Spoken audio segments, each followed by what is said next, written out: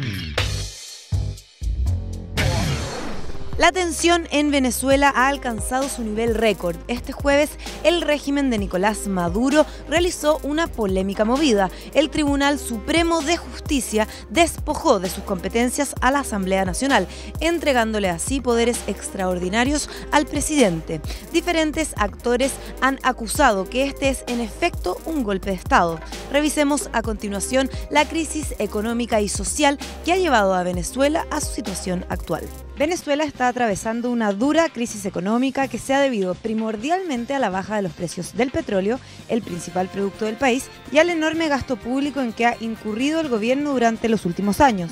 Según cifras del Fondo Monetario Internacional, el PIB del país en 2016 se contrajo un 10% y se estima que tendrá una contracción de 4,5% este año. La inflación del año pasado bordeó casi el 500% y se espera que siga subiendo llegando en 2017 a más de 1.600%. Esto mientras el desempleo sigue aumentando. El 2016 llegó a 18% y se espera que para 2020 alcance el 28%. Además, la escasez de alimentos y de productos de primera necesidad se ha convertido en una situación cotidiana en el país petrolero, al igual que la creciente violencia. Según una investigación de la Oficina de Naciones Unidas para la Droga y el Delito, Caracas es una de las ciudades más peligrosas del mundo, con 120 homicidios por cada 100.000 habitantes.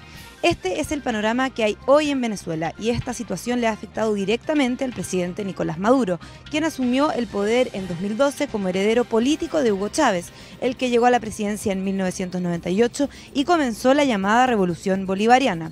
El 2013, tras la muerte de Chávez, Maduro convocó elecciones, en las cuales le ganó al líder opositor Enrique Capriles por una mínima diferencia de 1,5%. El año siguiente estuvo marcado por protestas en todo el país que dejaron varios muertos y múltiples heridos. Ese mismo año fue detenido el opositor Leopoldo López, acusado por instigación pública.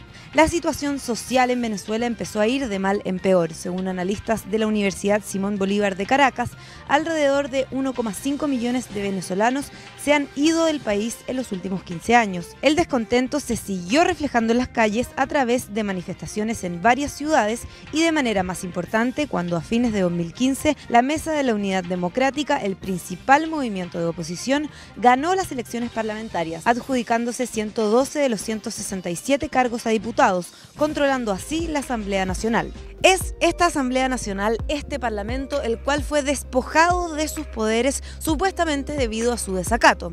Rápidamente el líder de la oposición, Enrique Capriles, acusó de golpe de Estado, lo cual fue apoyado por la OEA, organización que hace solo dos semanas le había exigido al presidente Maduro liberar a los presos políticos y realizar elecciones. Tras esta acción, Perú retiró a su embajador de Caracas y desde Chile, tanto la presidenta Michelle Bachelet como el canciller Heraldo Muñoz condenaron la acción y llamaron a consulta al embajador chileno.